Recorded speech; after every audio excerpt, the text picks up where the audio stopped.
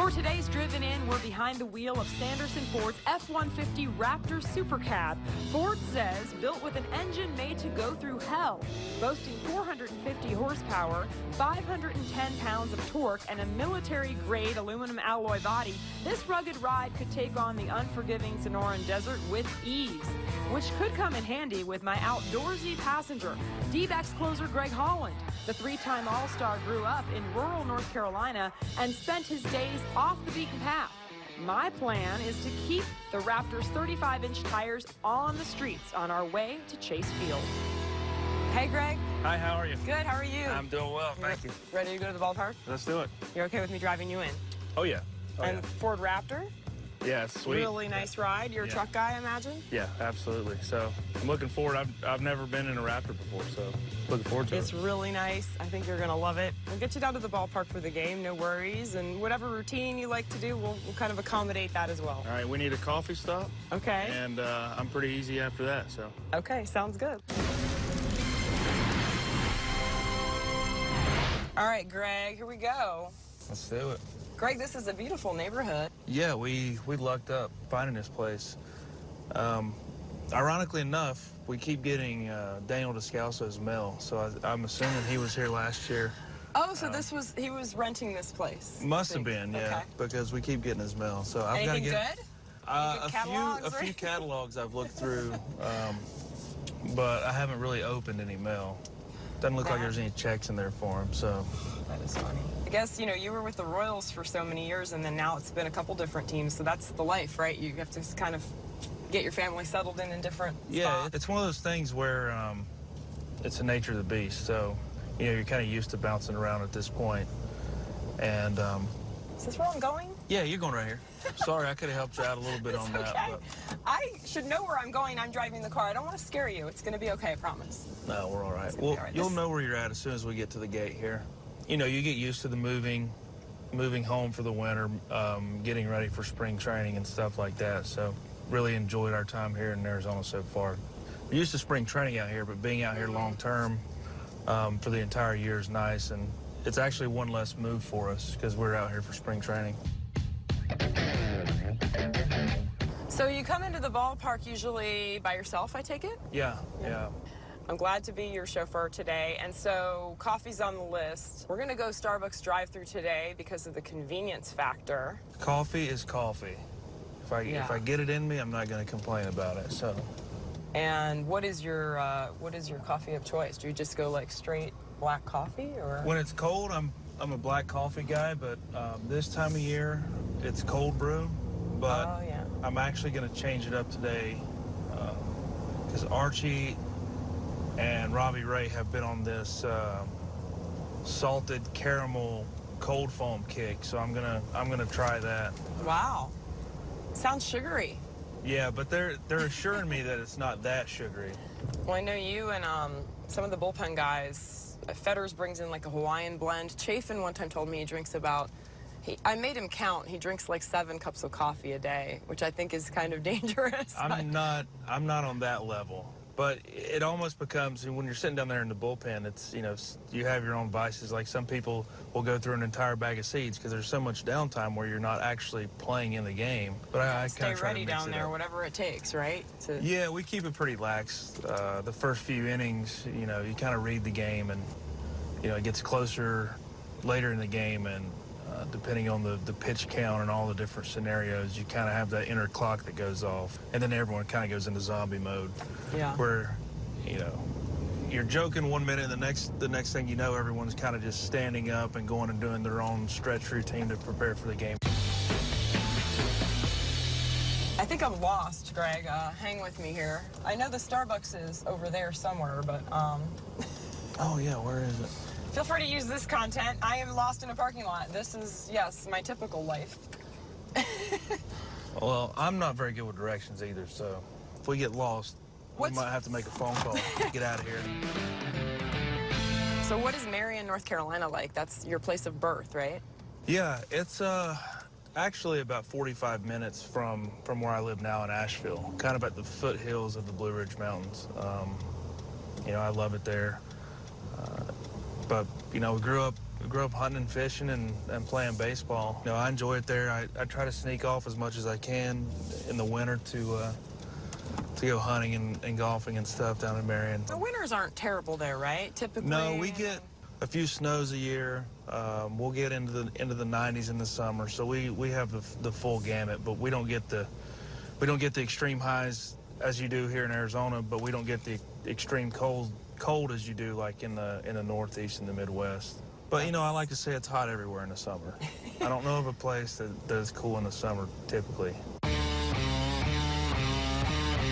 Oh, there it is. Oh yeah, we're gaining on it for sure.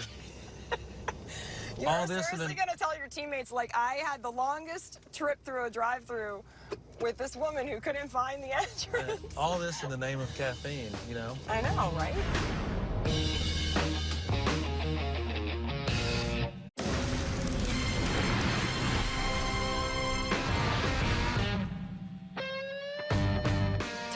Today's Driven In continues with Sanderson Ford's F-150 Raptor. My passenger, Greg Holland, works late nights and has two young kids at home, so a pit stop for caffeine is part of the daily routine. So your son is four or almost five, and your daughter is about two. So I don't know if she has a favorite like player connecting with baseball yet, but does your son, besides you, of course, does he have a favorite Diamondback yet? Um, it's kind of a toss-up. He he's a big Jarrod Dyson fan, Okay. but recently he found out that Christian Walker is a former Gamecock. Um, Oh yeah. My wife's side of the family, growing up just north of Columbia, South Carolina, they're all Gamecocks fans. So he tried. He does his Christian Walker go Gamecocks before he steps in the box, and then he also does the now batting Jarrod Dyson. So he That's awesome. he is. Uh, it's He's got probably the speed and the power Yeah, there, kind of covers it all. if he can do what both of those guys do at one time, he's he's really gonna be something. But he. Uh, Jarrod's hit a couple homers yeah. this year too, but it's it's kind of a coin flip for him, but he's starting to get to know the players and and it's been a lot of fun. so we made it to the window here. Oh, there we go. Okay, we're gonna have a Can I get a venti salted cold? What what am I trying to say? I don't Chocolate know. cream cold foam cold brew. Yes. Is that good? It's very popular. Should I Everyone have knows that? I have not had it, but it's very good. I'll have that, but I'll just do the smallest one. The The grand. Yeah, the grande. Yeah. So I drink a decaf mocha. That's like a chocolate milk. What is this? Is this going to do something to me? And will I be like shaking and sweating? I don't know. But, hey, this this is it's our fir- okay, you know. this is my first I don't have to crack at it, pitch later. I just have to talk on television. yeah, you might be talking a thousand miles an hour. Yeah, I, I'm I not sure. do, The caffeine content. Now, how did you meet your wife? We met in college. Uh, she was a cheerleader at Western Carolina, and I was a baseball player. Started as friends. I mean, I, I knew I was interested in her long before she knew she was interested in me. I think, um, but it was it was great, um, and it's been great. So, trust me, you you don't have. It's a new appreciation when you have kids and and you're playing baseball and and you have one day to watch them yourself, and you realize my wife does this It's exhausting, routinely, right? Day in and day Yeah. out. So I have a much easier job than she has. And I know that just from the short three or four hour stints where I'm with the kids by myself. I'm like, how do you do that for 10 days when I go on the road?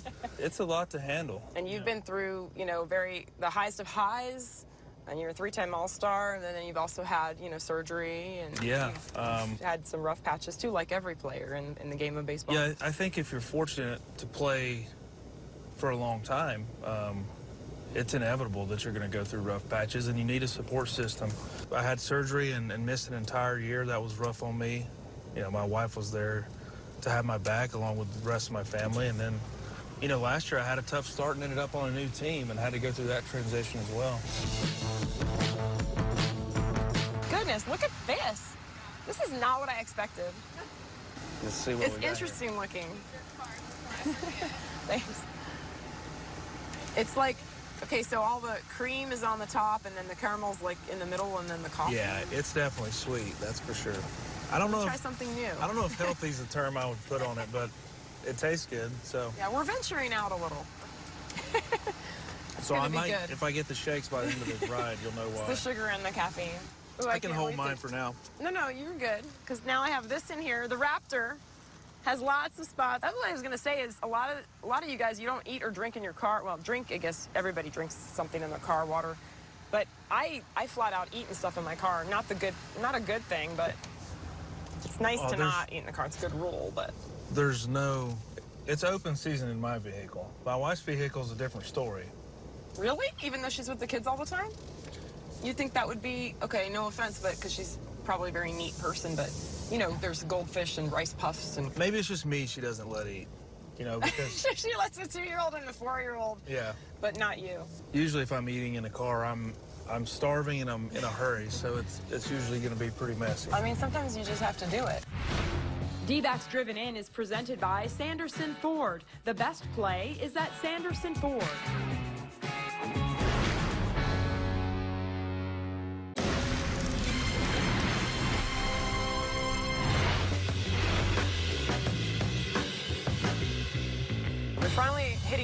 Open road. You're like, thank God, I'm actually going to make it to the game on time. Fr- is this freeway or interstate? What do you call it? I say freeway. I feel like on the East Coast when I was living in Florida, it was always interstate, like Interstate 95 or you Yeah. know whatever was always. But I feel like here it's freeway. I don't know if there's any difference. I just I I heard it called freeway. I always use the term interstate. So Oh, jeez. empty box. Empty box. I didn't even run over it. Apparently, the Raptor is how you magic. You, don't I don't even know how you missed it. you don't even feel it. That's the thing. Arizona, a little bit of debris on the on the uh, freeway. When I first got out here, I was in Surprise with the the Royals, and they had just started the 303. Um, That's a I, new one. I don't think it went south at all. It went north when I was out there, but I think now they've got it all the way down into, um, was that Goodyear, Glendale area? I've been out there for exactly what you said, spring training, and then there's the wildlife zoo out there. That's where I proposed to Lacey. Where? Out there. Um, oh, now that I started talking, I'm At the completely. zoo? No, I'm completely blanking. say. mm, I'm completely blanking on the um, what it's called. I got. I'm gonna have to look it up on my phone. You can phone. look it up. It's okay. So Arizona's a special place, The not white- only because you're a D-back, but Yeah. for that moment. White Tank Mountains. The the, uh, Oh wow. Okay. the regional park there. I have never been there. Is that is it pretty? Yeah, it is. There's actually a waterfall there that, you know, in the springtime it's it's actually a waterfall. I'm assuming right now it might be dried up, but talk about one of the most scared moments of my life was proposing. Immediately Lacey starts crying, and it got to a point where I was like, so is that a yes or a no? Because we still just crying. we huh? still gotta walk out of here. Uh, so it's gonna be really awkward if if the answer is no, I'm good. So were you just nervous because of the moment, or you know, Yeah. probably felt pretty sure she was going to say yes? Yeah, I think if you're not sure what what the uh, your loved one is going to say, then you're probably not in the best of relationships to begin with. But you know, it's just a big step in your life. You go from being a kid playing baseball fresh out of college to like now you're an adult and you have a lot more responsibilities other than just yourself. So I think that's where the nerves came in, you know, for me. You said you like fishing and hunting, and that's, I imagine, more hunting in the winter, right? In the off season. I don't know about the Yeah. fish. Fishing's more summer. Yeah, I- yeah. I used to I used to fish quite a bit. Um, I don't get to do it obviously nearly as much as I used to because my what I do for a living is in the middle of the summer. But. I, I guess my biggest passion, other than baseball, would be would be hunting, obviously, and I love it. I'm hoping this year to get to go to uh, Archie's new outfit that he's got. He's going to do duck hunts and and whitetail deer That's right, hunts. out of Oklahoma. Yeah. Yeah. Yeah. So I think a few of us, I think myself, Chafin, maybe uh, Godley, and I think uh, Goldschmidt as well. Um, Nice. we're gonna kind of go down Get there. the boys together. Yeah, it'll be uh, it should be a lot of fun. So I'm looking forward to that. This thing's actually pretty good now that we're now that I'm going on it here a little bit. It's kind of mixing. It's pretty. It's pretty good. Yeah, it's not too sweet if you can get it. I will up. be up till 3 a.m. tonight now, but. Our D-backs Driven In with Greg Holland features Sanderson Ford's F-150 Raptor, the perfect mix of high-tech and tough, down to the last detail.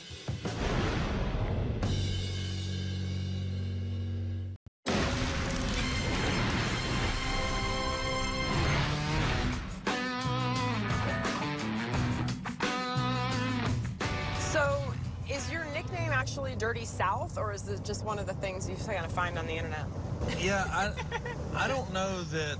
Um, I'm not real sure where that came from, and I don't think there ever was a moment in time where it, was, where it really stuck. I know that none of my teammates Actually ever referred to me uh, as Dirty South. Okay. Um, Sounds like a rapper a little bit. yeah, I think it's just one of those things where I had a really trashy looking beard, and I was from North Carolina, so it just They just went with that. yeah. I'll tell you something funny. We were in the clubhouse in Pittsburgh, and I've never seen all the guys more riveted to the television. You were on MLB Network, and they were just, they were glued every word. Do you like doing that kind of stuff? Is that fun? And then, of course, you you mentioned the fact that there were uh, that the breakfast was a little off, and so the guys were all yelling like, "Tell him, tell him what's going on." There were no eggs that day. Is I that would like to clear the air. Oh, you need to clear the air on The we didn't have eggs, and we had a day game. Right. But as far as I know, it wasn't on the staff in Pittsburgh. It was a complete oversight. So who? I don't know who I don't was. want res- to make a culprit of I don't. anybody. Yeah, I don't want to point fingers, but I think it was an internal issue. Okay. Uh, Operator we'll, error. yeah. well, yeah, we'll name, we'll blame it on Nick Ahmed or something. But I, I think it was someone in the Diamondbacks organization. I mean, But they were yeah. asking you about your slider and your career and all these really heartfelt things and how you're kind of an underdog, you know, because you're a little bit smaller in stature than some of the pitchers. It was really a great interview, and then, and then those guys just wanted to hear about the eggs, so it was really kind of funny. It's uh, I tend to uh, try to avoid interviews and stuff. well, this is I- the wrong show to be on because I got you in the car, Yeah, uh, and I, I enjoy them. there, but. I actually enjoy them when I actually, you know, like I said, get get in the car and start talking. When it comes to those type of things during the season, I just kind of I just kind of worry about playing baseball, um, and talking about it sometimes can make me uncomfortable, especially talking about myself. Oh, we can see it. We're almost there. Rick's Hitch Works. What did it say? Rick's Hitch Works. Oh, hitches? If you have any hitch problems, Yeah. go to Rick's. I guess you have a big trailer somewhere, huh? For all your stuff, or no? Like No, when I think of hunting and fishing. That's more my dad and brother's kind of game. Is that what it is? Yeah, I'm not real good with uh, backing trailers and stuff, so I'm not very good at many things at all. L- luckily, Just I can throw a baseball. Yeah. I make a left here. Why not? We can try. What's the worst that can happen? Greg, you are so easygoing. I love it. Just like you're not worried. You don't appear to be worried when I'm making these uh, questionable traffic Well, decisions. But typically these side streets, no one's going fast enough to really hit you head on. That's so okay, so Greg, we talked a little bit about music, but what's? Uh, tell me about your walk-up song, your walk-out song. I've dabbled with different songs in the past, and I kind of like all genres of music, uh, which, you know, I, I guess most people would assume, you know, I like country music, but I, I like country, I like You're from. North Carolina, Yeah. so they're figuring country. I grew up on classic rock, so I like all different types of music. But Lay Low by Snoop Dogg is one of those songs where I just, I love the beat. I love it. Yeah, it's a great one. But I will I- say, I would have guessed like a country song. Or Yeah, something, yeah, so. but I don't know. It's just uh, it's a type of it's a type of song that kind of gets me gets me going a little bit, but not overly hyped. It's awful when you pick a song and everyone's like, "Man, that is terrible," you know, because do they? Do you guys share that? Like, are they just like? Yeah. They, Oh, yeah, Like that would dash someone's. yeah, you, can know, hear about it. You get a bad intro song, you're gonna hear about it. Uh, Have you had that happen to you? Did you have a bad one? You know, I've actually had a. I had one. Um, I went from Electric Feel by MGMT to, Lord, I don't even know the, the name of the song. Um, when I was in Kansas so bad. City, You have no idea what it was. yeah, Breaking Benjamins or something, and- I personally didn't like it. Oh yeah. Well, that's not good. But I pitched well, So so, I was, so good I didn't, yeah, so I, I didn't want to change it, but you know, luckily for me, I pitched bad enough last year in St. Louis where I, I could, uh, I could decide to change my walk-up you song. wanted to so- make the switch, huh? we made it. And we are here. This is probably your longest drive to Chase Field, though. Yeah. unless you were coming from the White Tank Mountains, which Yeah, we were not. but that was fun, and did, oh, you've almost finished It, your ga- yeah, it gave me time to finish How an you entire feeling? venti coffee. Feeling good? I'm feeling really good. Hi, I'm bringing Greg Holland to work today. Players lot. Players Yes. lot. That's the right spot, Have a right? great day. Thank, Thank you. One of the beauties of being a short, stocky, unassuming person is you get checked no matter how many times you roll in this park. I'm going to get checked, and I really appreciate it because So you're saying that they don't, they're not sure you're a baseball player? yeah, Is that what you're yeah, and it, it's great. Um, you know, I went to back-to-back World Series in Kansas City, and I would go through a grocery store, and people would have Royals gear on. Um, you know, decked out to the nines, just loving how good the Kansas City Royals were playing, and no one ever, ever, ever noticed me. Um, And which, you're like, which don't is you my know who I am? I'm World Series champion no. Greg It, Holland. it actually was great. I was like, no one knows or cares who I am. I don't have to deal with anything other than getting my groceries, and that just kind of fits my personality. yeah. Um, Under the radar. Well, Greg, thanks for letting me drive you in. I appreciate it. I hope you I enjoy the ride and uh, got your coffee and you're ready to go. Thanks a lot. I Thanks, appreciate Greg. it. You can find today's truck, the Ford F-150 Raptor Super Cab, and more than a thousand more vehicles at Sanderson Ford in Glendale, America's most awarded Ford dealership.